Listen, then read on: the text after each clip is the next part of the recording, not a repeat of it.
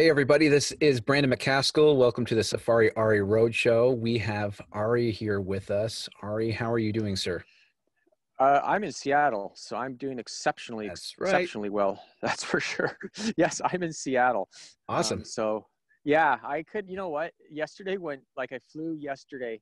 Yeah. And it went a million times more smoother than I anticipated. I like. I mean, well, I just with the current current climate and everything, just with COVID and everything, I just you just don't know, right? Mm-hmm. No. And uh, I had a lot of gear to box up.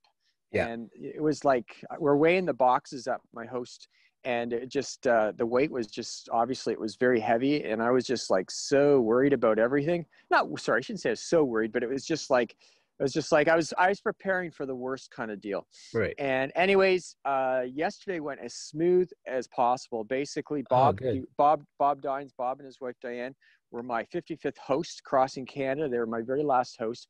I Right. actually stayed in Vancouver for basically a week um, because I was trying to get on top of some travel insurance kind of deal and so that I ran into a few snags. But anyways, I'll just sort of backtrack. I mean, like as far as my ho- like they actually Bob actually picked me up at the ferry, so he saved me like a sixty kilometer bike ride. Oh, which I mean, hey, I was done Canada, so it's not like I had to bike anymore. so it's like, yeah. Yeah. he's like, I'll pick you up, I'll pick you up, and it's like, all right, whatever, sure. And Oh, so he like, cool. but anyways, yeah, oh no, because then he drove me around to get like for getting my bike boxed up, and then trying to find a box for my trailer because my trailer, like, is like a lot of my screws are so seized up, I can't take things apart anymore because Right. there's so much rust. And so I couldn't, I was hoping to put my trailer in, a, in like a hockey bag, but that wasn't going to work. So I had to get a box and that's a big size box to try to track down. So he drove me all around for everything like that. But anyways, uh, I packed all that stuff up. He brought me to the airport yesterday um, morning or well, more like lunchtime say. And uh, he actually came into the airport with me because I had two massive boxes which saved me a whole lot of trouble because those airport carts are not meant to uh, just push. You got to push Yeah. down and then push. So uh, that was so amazingly helpful. And anyways, like yeah, like uh, so, you know, in regards to like like my bike box was like close to 90 pounds, so I was Mhm. charged 100 bucks for overweight, oversized there. My trailer they only charged 30 bucks, which was like 50 pounds in that Yeah. box, and then they didn't charge me for the other checked uh, bag. So the guy says, "Oh, Oh. don't worry about that one. We, we won't we won't worry about that one." So that was nice. And um, so uh, oh yeah, and then like oh no, we just went through the X-ray kind of deal, and uh, no real problems there.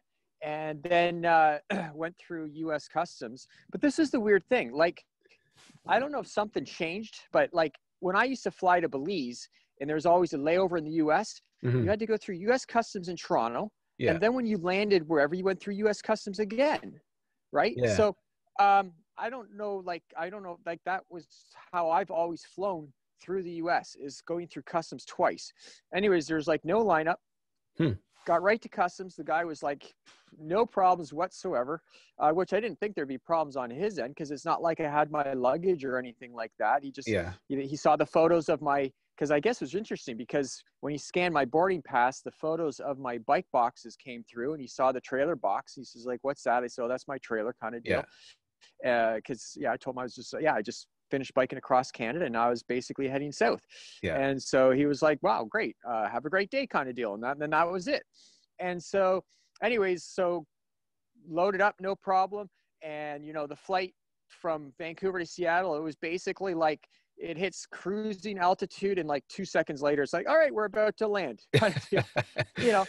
And so, anyways, so disembark and and then go get to the luggage, and basically my everything was cool, um, no damage whatsoever to any of my stuff. And it's like the thing is, is I'm, I'm at the place where you where you you collect your luggage, Yeah. and it's like the exit door is right there. Oh, like, really? well, hold on a sec. Well, where's the other customs? Like, where's the guy that's going to ask me, like, what am I doing here? And and what's all this luggage you have with you? You know what I mean? It's like, nope, we, we don't want that. We don't want that in America. You go back to Canada. You know, Yeah. I was like, like I was just like, there's the exit. It's like, like, is this my escape? I don't. It's so weird. Wow. Like I've never gone only through customs once, and I don't know if that's a whole change or I don't know because it's been a while since I experience well, too. I don't It's weird. whatever, but I just I'm just so used to going through customs twice, and, and it was like Yeah. there was the exit door. So I actually st- I feel like I'm on the lam. I feel like I've escaped, and they're and they're gonna come track me down because anyways last night well it took me about an hour it took me about an hour to put my bike all back together um, Yeah. at the airport and then i just pedaled away and then basically i went and found something to eat and then i found found some groceries though when i realized i was going to make breakfast this morning that i don't have any i don't have a butane for my lighter um, Oh. and i don't have any i don't have any way to start my stove i realized because Oh, no. can't bring that stuff on the plane so yeah so i have to yeah so i have a dozen eggs a but i can't eat them so anyways um yeah so i only pedaled like 17 well by the time i basically by the time i left the airport it was basically dark. Um Yeah. i got some ch- real challenges with the 6 p.m getting dark kind of deal Yeah. um but yeah and i that's the thing is i was awake wide awake at 6 a.m but it's too early it's too cold and, and I, it's like so i fall asleep and then i wake up it's like 9 30 it's like uh crap uh, but yeah, that was one thing I noticed because I really haven't camped in about two weeks. Uh, I think it only got to three degrees, so it wasn't really that cold last night, but it's Yeah. like definitely a chill in the air. Um, so it's like I definitely got to move south. But anyway, so yeah, so I pedaled only like 17 kilometers last night, which obviously isn't that far. There's there's a ferry, I believe, and I believe it's still working that way because Yeah. that way is west towards the coast, and it's not like the coast is there is there's there's an inlet or something that you can take a ferry across and i believe that it's still open for the year. I don't think it's seasonal but anyways so i'm, I'm going to head over there to take a ferry and then that's going to kind of get me out of the, the greater seattle area. Yeah. but anyways like anyways i found a very unusual like i don't know if you can see in the background. Actually i haven't even i came here in the dark. I was i'm in actually a residential area. There's completely there's houses all around me Yeah. and i was on this street and I see this massive tank, and I assume it's for water, but I have no idea because it was dark. And I thought, I bet you I could hide behind there and camp. So I I actually it haven't was even. a boat. Yeah, yeah, no, it's I. So I haven't even actually walked out here in the daylight yet. Yeah. Um, and there's no sign to say what it is, but you can sort of see like there's the houses behind me now. Oh yeah.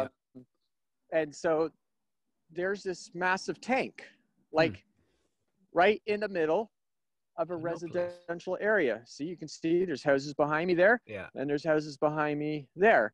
So, Huh. um, anyways, because I thought sometimes, like, because yeah, I don't know. Like I said, I saw it in the dark, Yeah. and uh, it's like I bet you there's nothing behind there.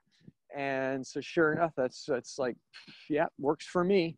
And I just as you recall, I'm just about uh, ninety percent um, uh, packed up my uh, my uh, camp. Like, yeah, so actually you can Oh, sort yeah. of see. I'll just do this. So yeah, there's this br- brick wall, and there's trees over here. Cool. And uh, anyway, yeah, there it is. I was just yeah about ninety percent packed up my camp. nice. And so, yeah. So, I mean, last night, first night in Seattle, went as smooth as can be expected. I can't believe how smooth yesterday went. Oh. Um, so, yeah, I'm excited. I'm excited. And then, yeah, hopefully within uh, an hour or two, like, oh, I'm already at low battery, battery yeah, I power. lost your feed. Oh, Oh, there you are. yeah, no, I'm at, yeah. So, wow, that drain, you know, it might be the cold because my battery was 90, my Oh. battery was 90% when we started. Yeah. So I think I just got to charge it in for about two seconds and then it'll pop up back up. But anyways, yeah, low battery mode. So All right. Seattle's great. Awesome. Well, not that I'm I'm out of here. I'm out of Seattle. So um, Yeah. So I guess we'll just we, we'll just call it a, call it a, a a day or a video here right now. I'm All actually just gonna plug Yeah, this good. in. Um, All right, thanks guys for watching. Uh, his battery's died, so we're saying so long for now, and we'll uh, keep you updated with where he's at next. Thanks for joining us. Bye now.